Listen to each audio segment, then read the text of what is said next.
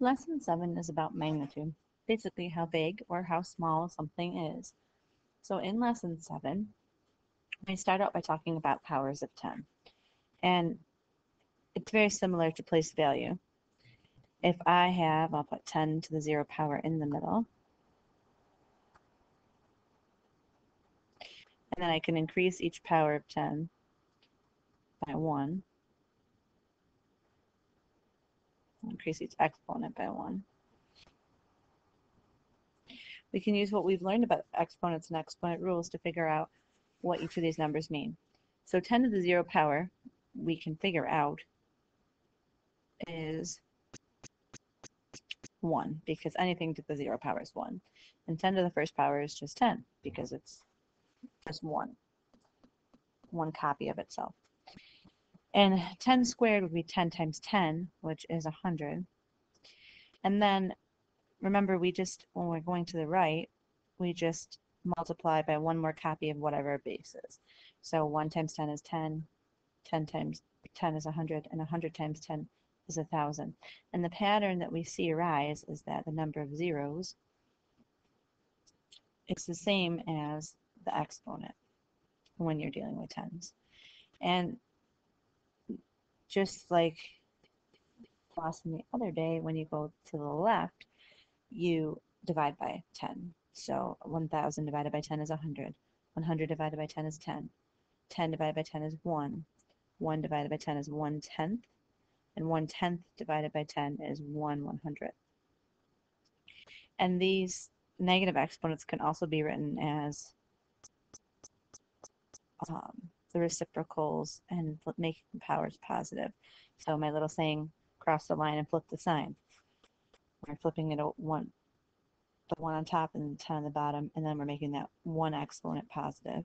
With a 2, we make the 2 positive. That's the basis of our understanding. We have that down.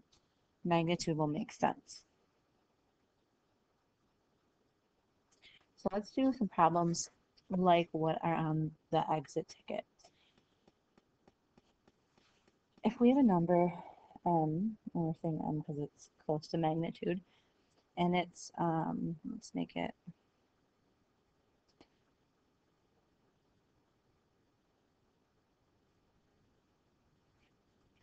one hundred seventy nine thousand six hundred forty three and twenty three hundredths.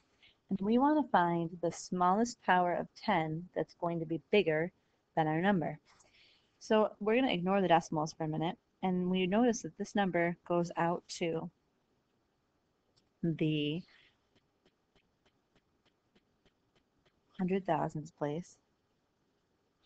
And that's when we want to figure out if I write a power of 10, I want it to be bigger. I'm going to count the number of digits in my number. So I have six digits. And I'm going to write 10 to the 6.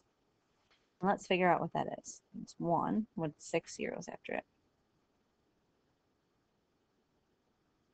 which is a million. And that is definitely bigger than our number.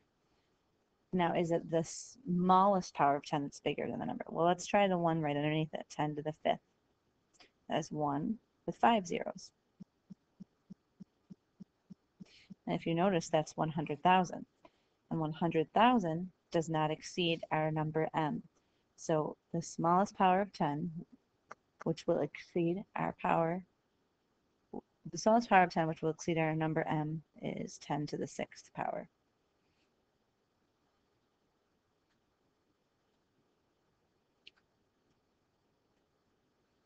Now there's another example where a student claims that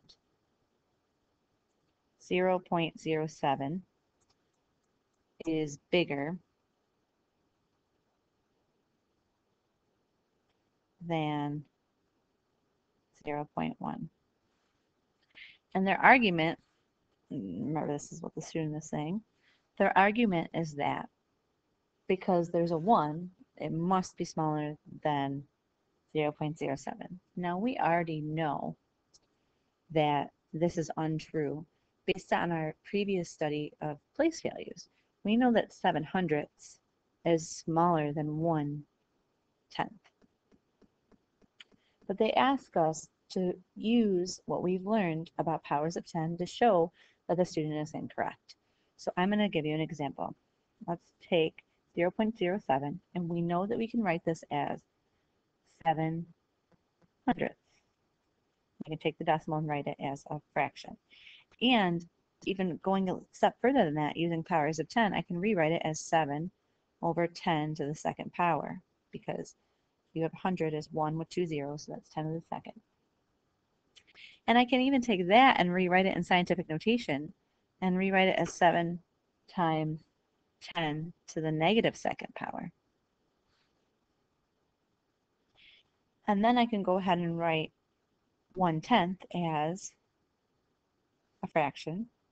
And following the similar rule, rewrite that as 1 over 10 to the first power.